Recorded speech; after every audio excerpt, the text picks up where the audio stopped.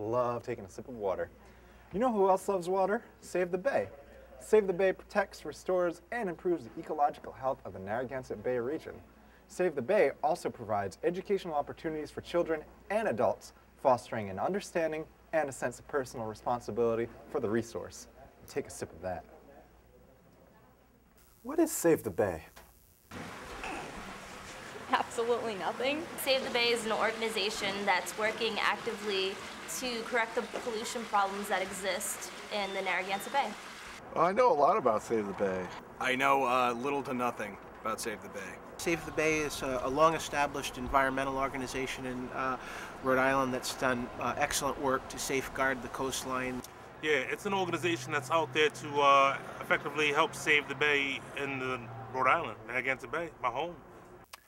Well, contrary to a lot of belief from people, it's more than a bumper sticker. Um, Save the Bay is a, it's, it's kind of a lifestyle. Um, it, it's also an organization that I work for, but beyond that, it's, it's, it's a way of living, you know. Um, everything I do in my personal life revolves around saving the Bay some, somehow. I think that the organization itself um, is working really hard. To say if they deserve taxpayers' dollars, I mean, that would be a great benefit if it was possible, but right now in the hard times of the economic issues that you know, are coinciding with our state, it would be a little hard to. I just think that people should want to help the organization and they should want to have a clean bay, and in order to do something like that, they should volunteer. Well, yeah, it's our bay. We might as well take care of our bay. If it's not going to come from taxpayer dollars, where else is it going to come from? It's an advocacy organization that should be supported by concerned citizens. Hello, I'm Ryan Dwyer. Save the Bay is celebrating its 40th year anniversary, and I'm here to ask Rhode Island's educated youth and a Save the Bay rep about its impact on our ecosystem. Sometimes we'd shoot like bottle rockets into the bay to see if we could light it on fire, and um, you know that just doesn't happen anymore. I think we've come a long way since then. So what can be done to prevent massive fish kills? Everything kills fish. You can't really, you can't like prevent it. The continued enforcement of the uh, of environmental and shipping uh, regulations, and also the uh, wastewater discharge from various communities into the bay to keep the, the nitrogen levels low. I don't think we really want to prevent massive fish kills. Um, I mean, if you if you look at it, the big picture, um, yeah, the big picture. What we want to do is we want to clean the fish up, and then we want to kill them all so we can eat them. And welcome to our Save the Bay press conference. Today we're going to have representatives of Save the Bay give you some background on the organization, tell you a little bit about not only its history but its uh, objectives.